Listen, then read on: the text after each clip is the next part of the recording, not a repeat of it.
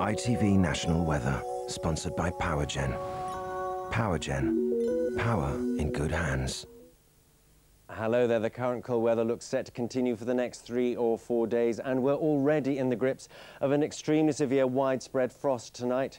Temperatures were are well below freezing, are going to dip down to as low as minus eight in parts of Scotland. Alongside this, there are still sleet and snow showers falling along east coast, and also pockets of freezing fog as well, making for altogether very hazardous driving conditions. It's going to be very cold again tomorrow. For central and western parts of the country, it's going to be reasonably dry and bright with good spells of sunshine, but still sleet and snow out to the east and during the course of the afternoon these sleet and snow showers could well edge their way westwards back inland. It's going to be feeling jolly cold tomorrow.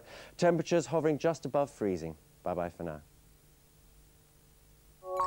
Powergen. Power in good hands.